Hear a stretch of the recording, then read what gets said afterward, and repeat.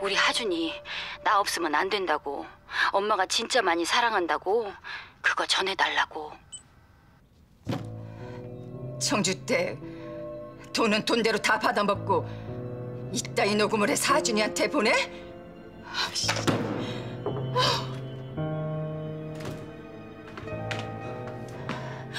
회장님은 박 의원님과 골프회동 끝나시면 바로 댁으로 들어가실 듯합니다.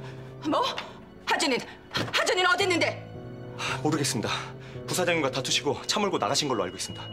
당장 하준이 회장님하고 못 만나게 해. 당장. 어떻게든 하준이 입부터 막아야 해.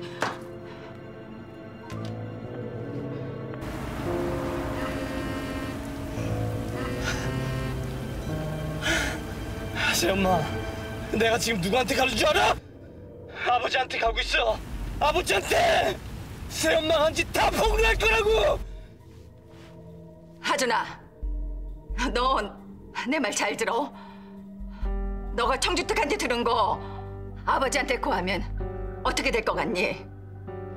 얼마 전 널 데리고 우만그룹 사장 자살한 데까지 찾아간 걸 보면 네 아버지 아직도 네 엄마 조언 안 들은 거 후회하고 있는 것 같던데 30년 넘게 한 입을 덮고 산 내가 네 엄마를 죽였다는 걸 네 아버지가 알게 되면 네 아버지 감당할 수 있으실까? 그 충격으로 쓰러지실 수도 있어. 네가 정말 원하는 게 그거니? 그럼 어디 그렇게 한번 해보든가. 지금 당신 나 협박해? 그런다고 내가 아버지한테 말 못할 것 같아! 네 할머니가 왜 쓰러지셨는 줄 알아?